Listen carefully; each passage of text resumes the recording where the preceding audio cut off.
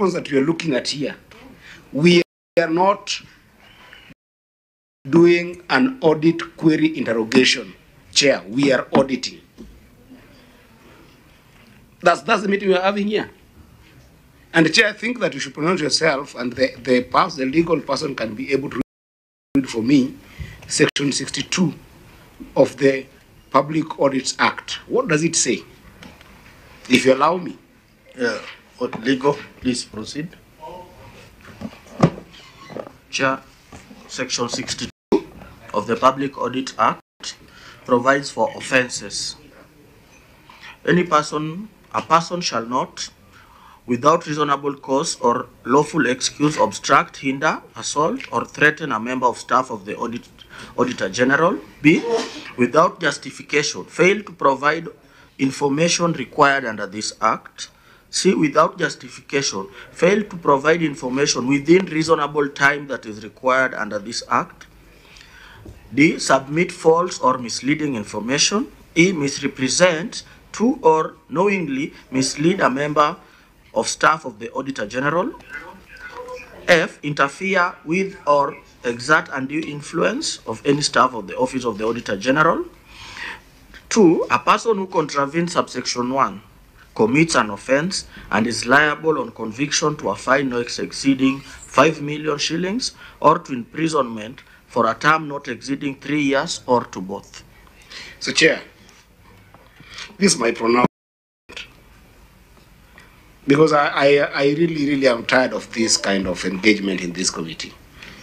The first process that we must clear is that the documents that we are seeing here that are responding to these queries, were they provided for at the time of audit? No. Were they provided for at the time that the certificate was issued? No. So then, as a committee, to be serious, we must pronounce ourselves that was there a reasonable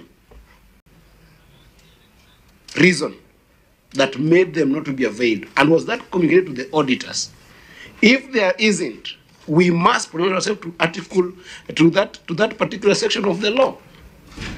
And then the second question would be when they are provided for, which the auditors, to be honest, the auditor general was very clear here, and we gave it is this committee that auditor general direction here.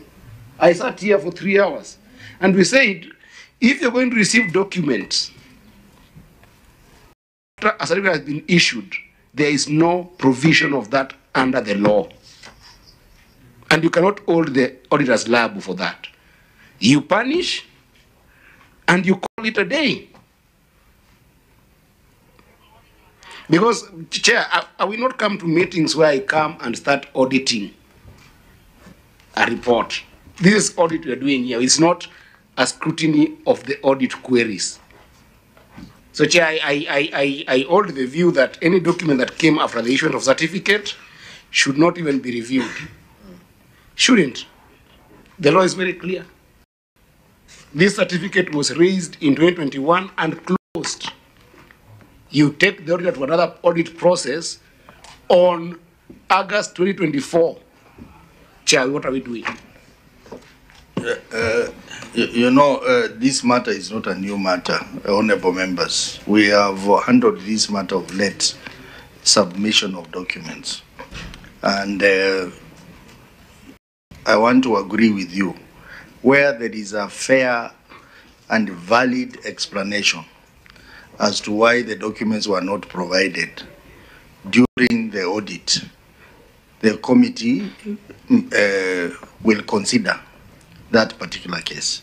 But where there is no fair and valid explanation on why the documents were not provided, then the committee cannot start redoing the audit.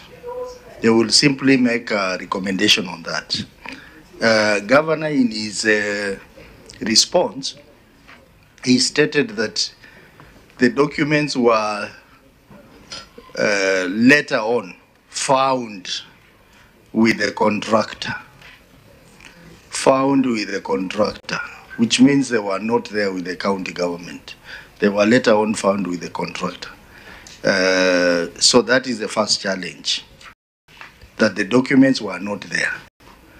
Number two, uh, honorable members, this is the very first time this Senate, through this committee, is uh, looking at municipalities. We have not been looking at municipalities since 2014, when uh, devolution started.